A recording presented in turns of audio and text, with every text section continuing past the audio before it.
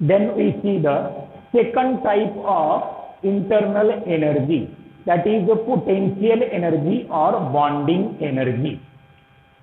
The ener potential energy or bonding energy is energy required. Kinetic energy is given by the particles and bonding energy is required to the particles. This is the difference between kinetic energy and potential energy. Potential energy again divided into two parts.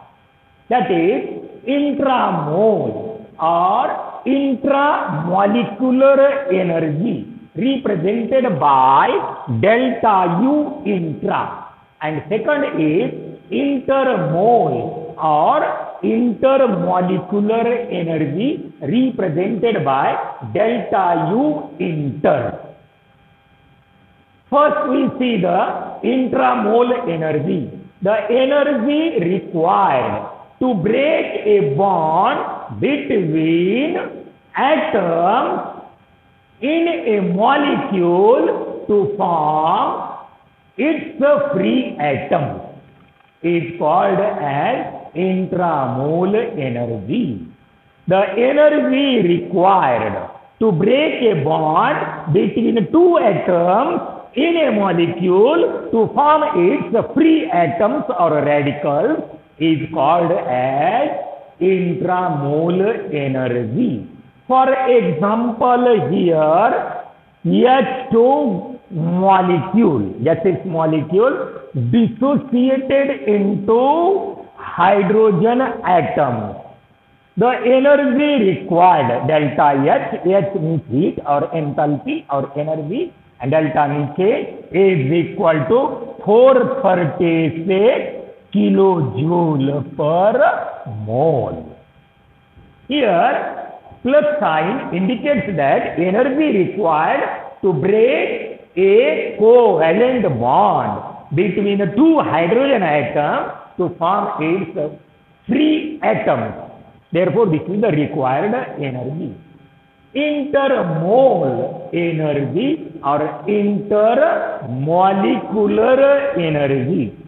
The energy required to separate molecule molecule from each other is called as intermole energy. Molecules are loosely bonded with each other. That loose bonding or weak bonding between the molecule molecule is also called as van der Waals forces. Van der Waals forces are weak forces. It is defined as the energy required to separate the molecules from each other is called as intermole energy. Energy required to separate molecule molecule from each other is called as intermole energy. Here, for example, H2O solid. In H2O solid means it is the ice. In ice cube, there are number of water molecules. Then these water molecules in solid separated from each other to form H2O liquid. Means these H2O molecules are compactly arranged. Therefore, the liquid water is converted into solid. And the bonding between H2O, H2O molecule is very weak bonding. And energy required to separate the molecule from each other is very small. That is the delta H is equal to plus 6.01 kilojoule per mole. Initially, we have seen that the absolute value of internal energy cannot be determined. But the change in internal energy that is delta U can be determined.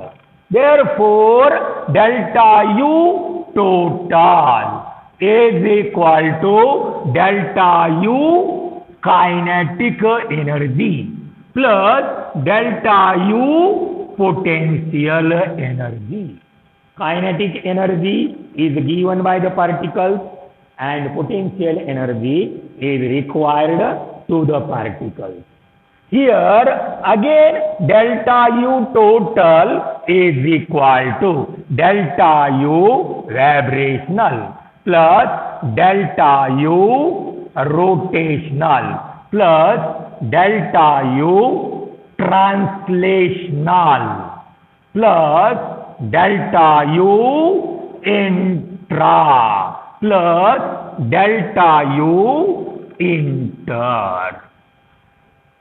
This is the internal energy and sources of internal energy.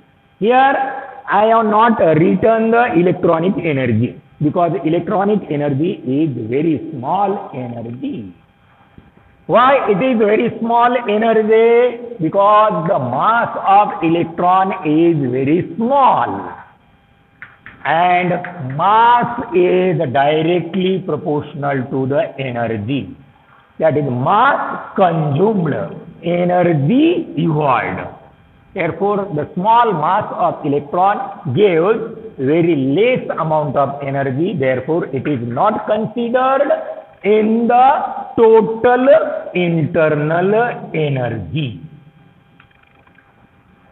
Then we see the next question that is internal energy is a state function.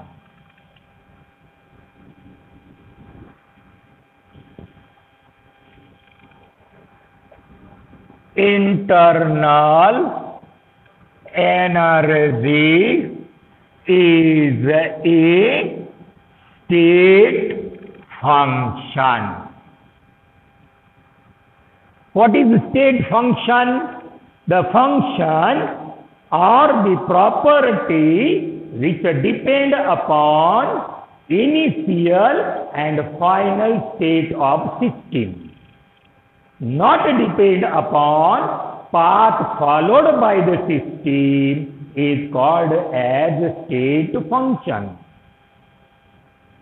Similarly, internal energy depend upon initial and final state of system, not depend upon path followed by the system. Therefore, internal energy is state function.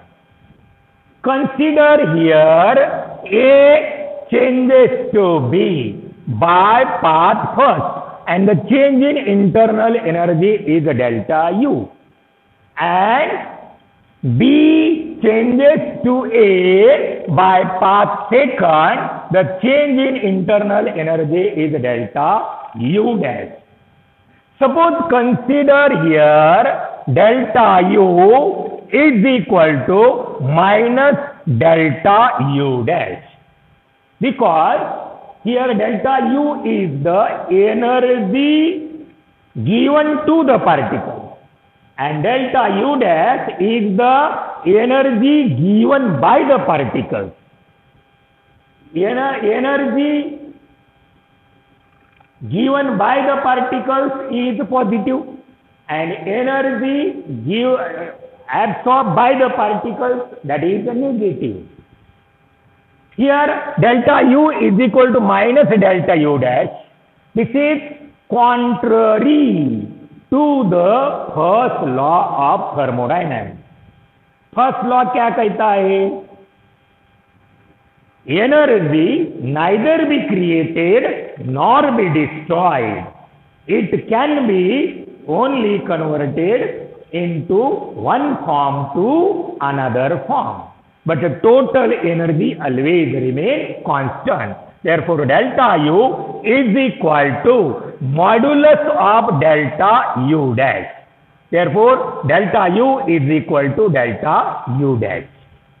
Modulus of delta, delta U is equal to modulus of delta U dash. Means here energy neither be created nor be destroyed. Total energy during both the states are remain constant.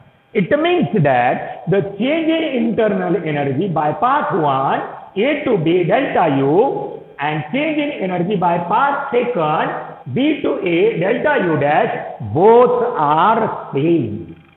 It means that delta U and delta U dash are not depend upon the path followed by the system. It depend upon only initial and final state of system. Therefore, internal energy is the state function. In last period, we have seen the four state functions. That is temperature, pressure, volume and number of moles. And this is the fifth state function that is internal energy which depend upon initial and final state of system not depend upon path followed by the system. Therefore internal energy is a state function.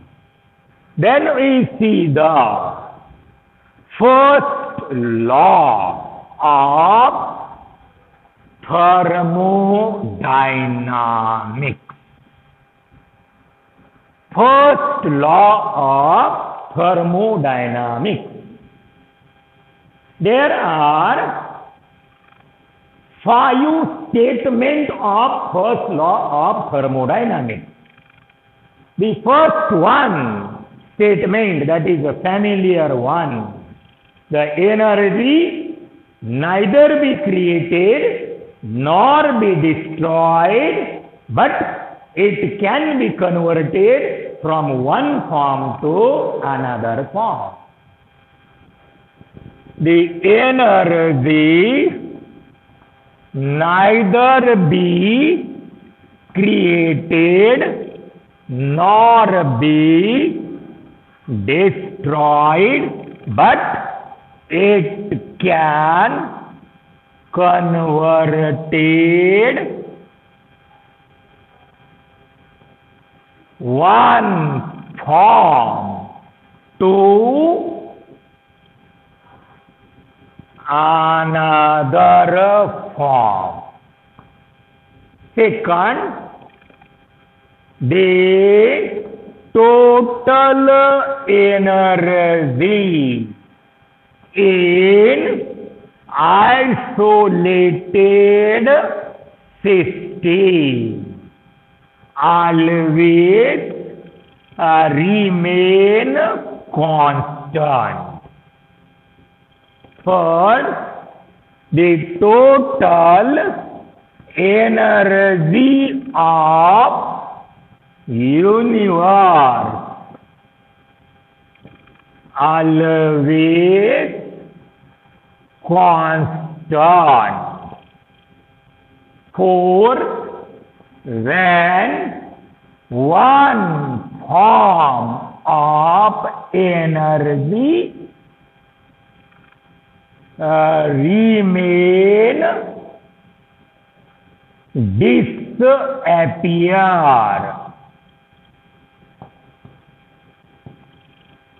Another form of same quantity of energy makes it appear. And fifth, the total ten of up system always remain constant though it may be converted one form to another form. These are the five statements of first law of thermodynamics. See again, number one, the energy neither be created nor be destroyed, but it can converted one form to another form. This is the known familiar statement. Second, the total energy in isolated system always remain constant. Because in isolated system, there is no loss or no gain of heat between system and surrounding. Therefore, total energy of isolated system always remain constant. The total energy of universe always remain constant. In universe, some part of any country remain cold and in another part of country there is hot. But the average or the total energy of universe always remain constant. For when one form of energy remain disappear, another form of equal quantity or same quantity of energy makes it appear. If the total energy of system always remain constant, though it may be converted one form to another form. In these five statements, the conclusion is that only total energy remain constant. But how these energy remain total constant? Or from where this energy remain constant? That is the question. And the answer of this question is given by modified form of first law of thermodynamics. ये हर एक statement में conclusion आता है कि total energy remain constant though it may be converted from one form to another form मगर ये total energy जो है, वो कहाँ से लाने की है? कहाँ से लाने की है कांस्टेंट रखने के लिए? ये ये कौन से यहाँ पे स्टेटमेंट में ऐसा लिखा नहीं है। इसीलिए अगला क्वेश्चन है modified form of first law of thermodynamics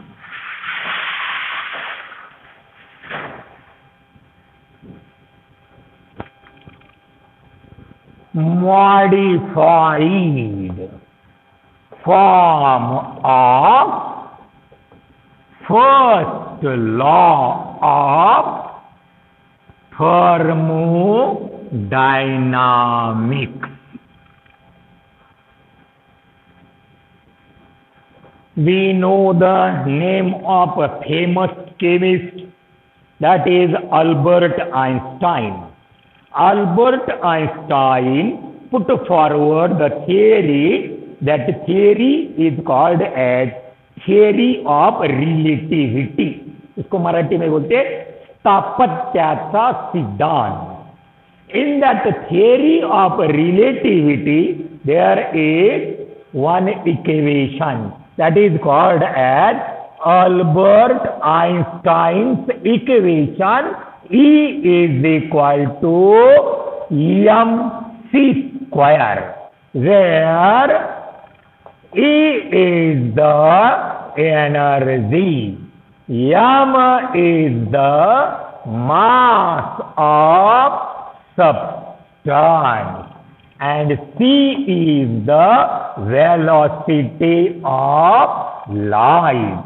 This velocity of light always remain constant and its value is 3 into 10 to the power 8 meter per second or 3 into 10 to the power 10 centimeter per second.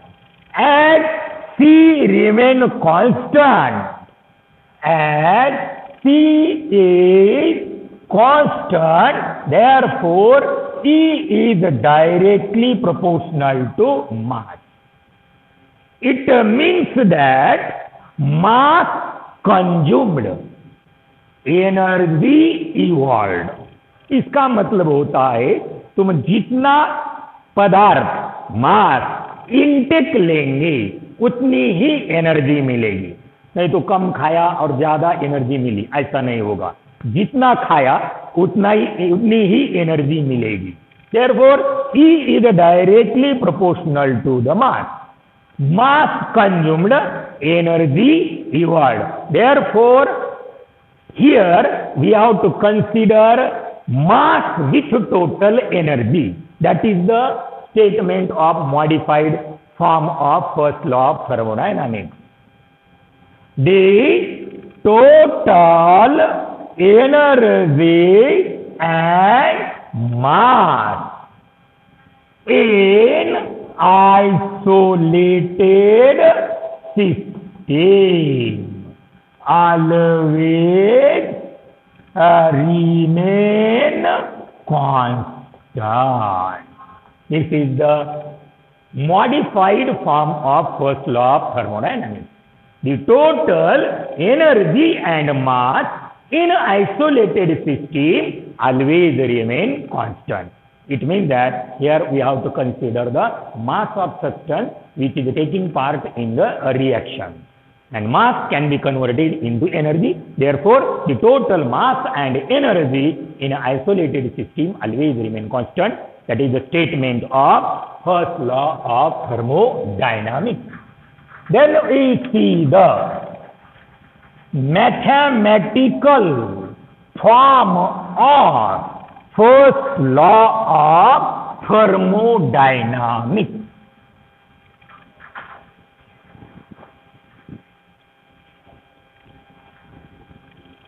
Mathematical form of first law of thermodynamics. Suppose consider here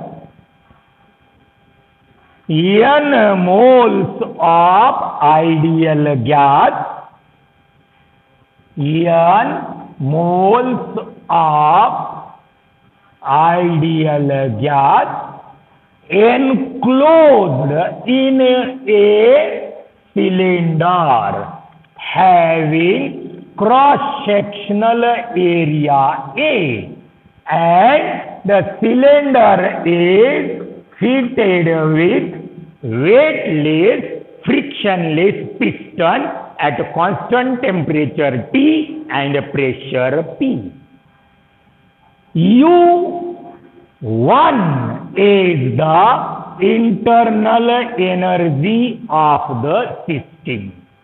Here U1 is the initial internal energy of the system.